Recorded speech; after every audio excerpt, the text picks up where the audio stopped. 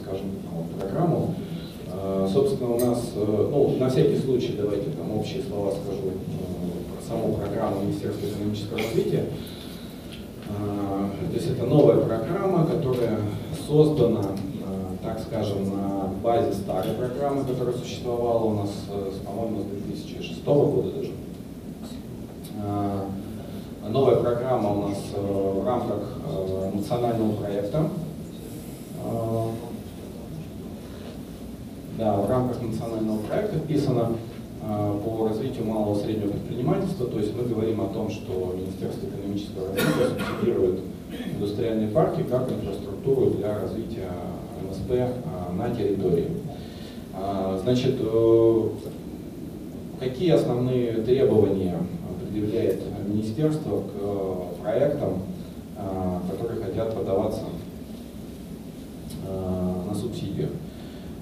Значит, в основе у нас требования национального стандарта, все стандартно, в этом смысле, то есть это не менее 8 гектар для территории парка, не менее 20 тысяч квадратных метров готовых помещений, если мы, если наши полезные площади это готовые помещения на этой территории.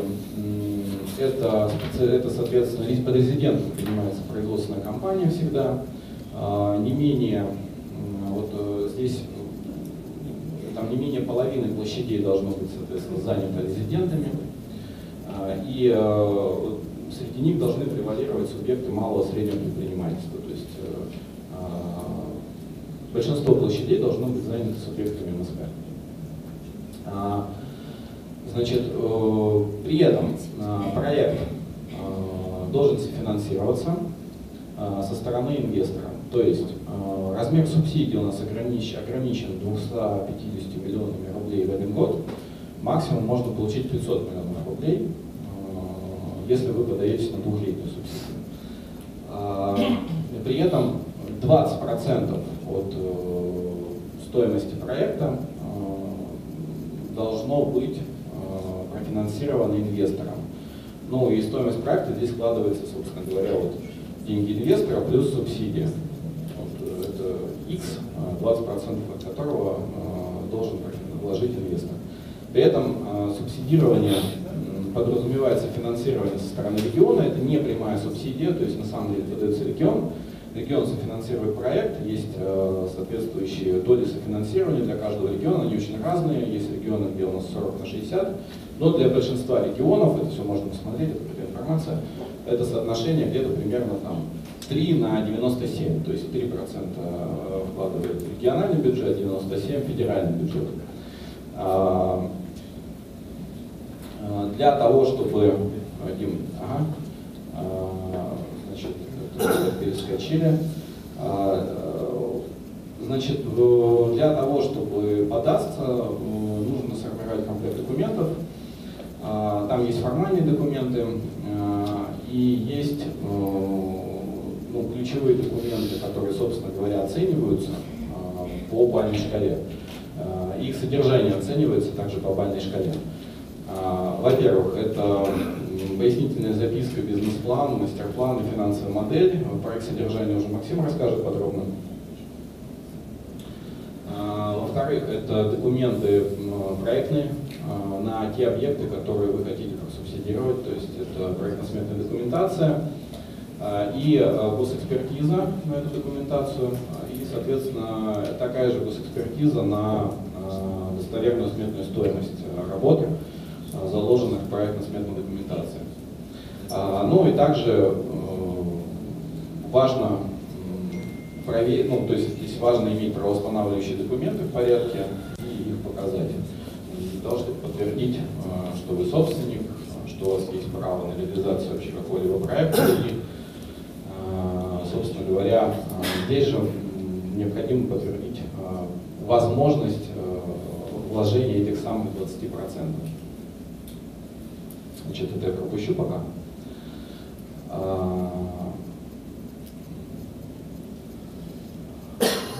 Собственно говоря, как программа развивается? В этом году субсидии получили уже во второй раз индустриальные парки. То есть первый раз по этой именно программе они были получены в прошлом году на 19 на этот год.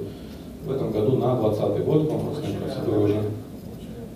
Ну, да, да, получили одобрение, да, то есть само соглашение будет заключено только там в январе-феврале 2020 года, и деньги поступят только в первом квартале следующего года, если все будет хорошо развиваться. Значит, э, какие результаты в этом году? Значит, в прошлом году, давайте вспомним, э, по-моему, 17, 17 или 18 индустриальных парков просубсидировалось на общую сумму почти там 3,5 миллиарда примерно, я сейчас э, до запятой не помню цифру. А, в этом году а, у нас, э, вот, по-моему, 10 индустриальных парков, на самом деле, там 7 Гринфилдов, 3 Браунфилда, еще один парк добавился в этот список. А, и, соответственно, там 3 действующих, 7 новых. По действующим вообще объектам ситуация такая. Они все могут тоже участвовать в этом конкурсе, но они должны как-то свой проект композировать на очереди и подаваться с новой очередью.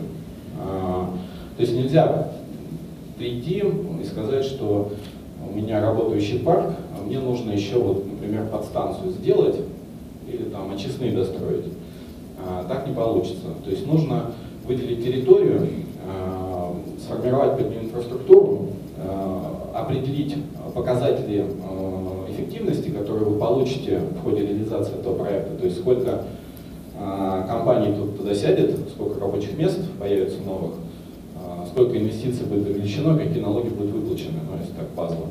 А, и только тогда можно вот это все упаковав, в, в том числе предпроектные документы, о которых говорил выше, э, можно прийти на конкурс и, соответственно, э, подать заявку.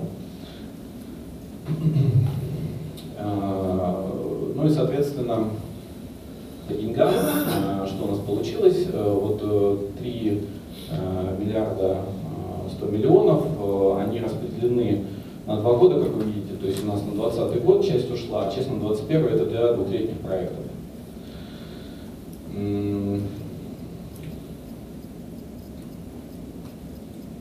А, здесь, все. Значит, вот можете посмотреть, это список э, тех проектов, которые в этом году получили одобрение а, для получения субсидий. Здесь указана бальность, Э, то есть их баллы. Э, то есть э, вот на этом слайде здесь баллы указаны, но это не все баллы, которые выставляются проекту.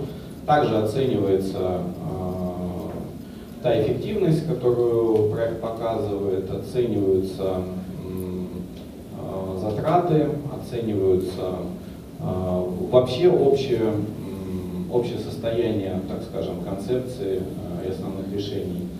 А, и еще ряд там технических моментов оценивается. Также есть баллы, а, которые даются, а, ну, так скажем, повышающие баллы, дающиеся за определенные вещи. Например, если у вас парк в моногороде реализуется, у вас будет там плюс балл, если у вас парк на Дальнем Востоке, у вас будет плюс балл. Ну, там не плюс балл, но будет повышающий коэффициент. Если у вас в Крыму парк, то же самое. Если, ну, по-моему, есть еще несколько факторов все, наверное, не перечислил сейчас.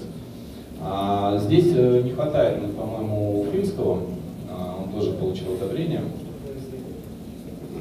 А, а, здесь рекомендации и замечания, которые получили э, эти проекты, перечисленные, получили эти проекты на предварительной стадии рассмотрения заявок. То есть они были сняты в итоге, а, но вот э, можно получить представление о том, насколько подробно смотрятся документы по каждой заявке. А, вот здесь, например, у нас те проекты, которые а, не получили одобрение, но были отправлены, так скажем, на второй год. да, и я забыл сказать, соответственно, программа также предусматривает субсидирование агропромышленных парков, а, значит, какой-то подробной нормативки по вопросу агропромышленного парка вы в нормативных документах не найдете, там просто есть строчка о том, что а, агропромышленный парк – это форма индустриального парка, предназначенного для а, локализации компаний, перерабатывающих сельхозпродукцию, примерно так это сказано. И у нас есть расширение, ну, у нас есть изменения в национальном стандарте, где мы также даем определение таким типом проектов. Основное отличие в том, что в агропромышленном парке могут быть земли сельхозназначения. Их может быть определенный процент. По-моему, у нас договоренность до, до половины, не более половины, да, земель могут быть сельхозназначения, но это земли не предназначены для выращивания сельхозпродукции, это земли предназначены для размещения перерабатывающих предприятий. У нас э, целый ряд э, предприятий, э, перерабатывающих сельхозпродукцию, могут размещаться на таких землях, например, молотозаводы различные, зернохранилища там, и так далее, элеваторы. Ну и вот тоже немаловажный нюанс. Есть целый ряд проектов, которые имел хорошую бальность, но в конкурсе, например, в этом году участвовать не смог. С чем это было связано? Это было связано с тем, что есть э, положение в нормативной базе о том, что если на территории региона по этой программе есть незавершенные объекты капитального строительства, то участвовать в конкурсе нельзя с новым объектом. И, собственно говоря, вот э, и Республика Татарстан, и, тут и Белгородская область, ну, вот эти все регионы перечисленные, они участвовали в 2019 году, то есть на 2019 год, в 2018 году они участвовали, и э, проекты э, из этих регионов получили субсидии, э, и сейчас получают, реализовывают, и вот с этим связано, что целый ряд весьма хороших проектов был не допущен до конкурсных процедур в этом году. Ну, про программу можно долго рассказывать. Наверное... Что? Они в очередь становятся, и после завершения этих своих проектов еще раз должны быть? Нет, они в очередь не становятся, они придут на следующий год, например, и э, в такой же процедуре с нуля будут участвовать. Понятно, что у них уже документы все есть, в принципе, решение есть, мало что в этом смысле изменится, скорее всего. А, но э, с кем они будут э, соревноваться за субсидию, это вопрос, потому что состав проекта будет неизвестен, и а, да, тоже я об этом не упомянул.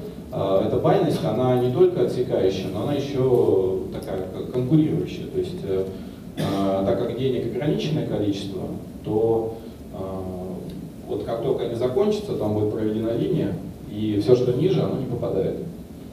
То есть логика такая. Раньше, пока программа, которая у нас существовала до этой, она была по другой логике выстроена, и там деньги получали все заявители, Э, которые прошли формальный отбор. Э, и деньги распределялись пропорционально. Итогом этого было два момента. Первое, что все вроде бы довольны, потому что все получили деньги, и в то же время все недовольны, потому что ни у кого денег реально на объект свой не хватило. Но объект капитального строительства, если у вас даже 90% от суммы, то где вы еще 10% возьмете, абсолютно непонятно. Вот, поэтому здесь немножко более жестковатая процедура, но зато она более эффективная с точки зрения э, дальнейшего использования. Да. Пожалуйста, а на 2021 год есть решение по в этом году с открытием финансирования в 2021 году? Э, э, тут надо, конечно, будет поинтересоваться у Екатерины, которая к нам сегодня здесь приедет, Постниковой, это сотрудник Министерства экономического развития. А, скорее всего, у них есть ну, определенное согласование сумм, но все равно они будут переподтверждаться при формировании там, или до уточнения бюджета. А, и поэтому, скорее всего, как будут какие-то дополнительные процедуры. Хотя деньги они закладывают. В принципе, в программе а, деньги, денег достаточно для того, чтобы вот такие суммы, например, а, резервировать через год. Более того, там денег даже больше сейчас заложено, чем те, те текущие субсидии, которые уже были распределены или одобрены. Ну, программа утверждена там, на 6 лет э, с общей суммой финансирования более 30 миллиардов рублей. Да, но это разбито разными по годам, но как бы нет суммы 22-23 года, она еще, естественно, не подтверждена, потому что бюджет будет формироваться на ежегодно. Есть, э, ну, еще там ряд нюансов, да, сейчас э, передам слово, отвечу мне на вопрос. Ну, например, эта программа, она очень жестко привязана к регионам.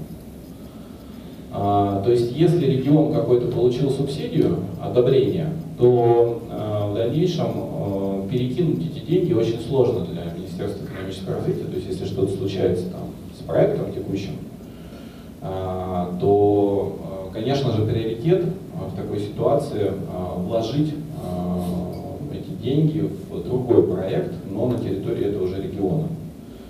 Вот, то есть здесь можно определенным образом страховаться, вот кто там с корпорацией развития представляет, региональная администрация, а, такой нюанс есть. А, вот у нас есть сейчас конкретный пример, а, один из э, парков, одобренный в 2019 году, он вот сейчас, скорее всего, прекращает свое существование, у него есть открытая субсидия, и, но как бы ее перекинуть некому, потому что в этом регионе больше нет парков никаких, и это проблема на самом деле. А что это за парк? Не важно, потом скажу. Хотя бы какой регион? Это, я думаю, что сейчас Спросите, мы сможем ответить на вопрос, как перекидываются деньги, то есть мы не очень понимаем. Это можно будет с Екатериной переговорить, да, Задать вопрос. на эту тему. Так, э, Ну вы вернете просто субсидию федерального бюджета, вы платите приличный штраф. Да, смотрите, насчет... Очень приличный. Конечно. Если субъект, если субъект федерации э, получает субсидию и э, не расходует ее, то возврат только по соглашению с приличными штрафами. Я когда узнал размер этих штрафов, у меня, если честно, волосы э, стали... На регион, на регион, на регион. Да, тут по- по- процедурно, прописано. процедурно, наверное, мне надо пояснить. То есть, смотрите, вот как только конкурс проходит и одобрение случается, дальше заключаются два соглашения. Первое соглашение между э, министерством, то есть федерацией и регионом о том, что направляются деньги. А, И второе соглашение между регионом и управляющей компанией. Значит, э, вот э, форма доведения средств там несколько сейчас применяется, насколько мне известно, регионами. А, То есть, когда регион уже деньги получил, вот дальше он может либо напрямую перечислить управляющей компании деньги и контролировать уже только а, результаты а, стройки и, собственно говоря, ну, деятельности резидентов. Либо вот э, есть опыт, когда регион выжидает, например, ну, то есть он ждет, пока э, инициатор, собственники там довложатся, хорошо, а потом он там деньги перечисляет. И вот есть третья ситуация, с которой мы столкнулись. Регион денег не перечислил вообще. Э, Вместо этого он объявил конкурсные процедуры по 44 ФЗ на создание объектов инфраструктуры, которые были одобрены. Ну, тут, собственно, смотри, Борис, вы же тогда о чем говорить. Есть единые требования ко всем проектам, которые могут э, приходить субсидироваться, но дальше подход реализации проекта, они остаются как раньше. Частный парк и э, государственный парк. Собственно, вот э, тот случай, о котором ты говоришь, да, когда э, регионы там сам расторговывают суммы, либо доводят до муниципалитета, э, муниципалитет расторговывает, это как раз-таки э, пример реализации такого ну, классического государственного парка. Так, погоди, сейчас, подожди. Э, Значит, у нас, значит, там, там же есть примеры, когда до частной управляющей компании все доводится напрямую. Ну, без да, это пример, конечно, Я его привел для того, чтобы этого не- лучше не случалось. Для того, чтобы таким путем никто не шел, потому что, честно говоря, большие вопросы по и срокам, и тому, будет или не будет реализовано. У нас есть таких тьма примеров, вот еще по предыдущей программе, например, есть э, парк Свердловской области, который субсидию получал, небольшой, и у них эта проблема возникла, они объявили, они должны были объявить конкурсные процедуры, они их объявили, первый подрядчик, значит, у них просто там два конкурса не случилось, третий подрядчик первый, который пришел, он просто э, не сделал ничего, ни в срок, никак. Вот. И, соответственно, два года прошло, э, инфраструктуры нет. Вот, э, например, такой нюанс может быть.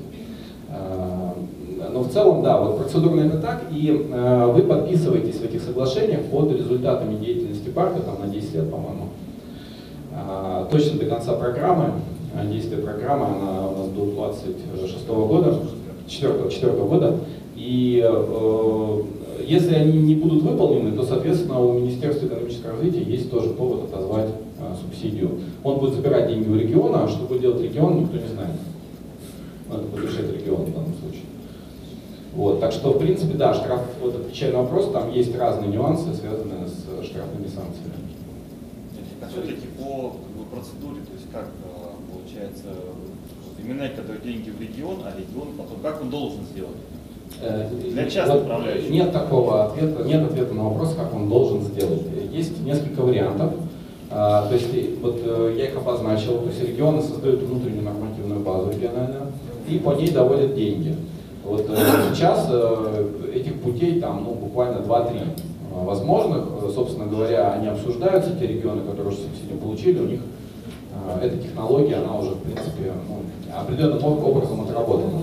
Здесь можно будет интересоваться конкретно.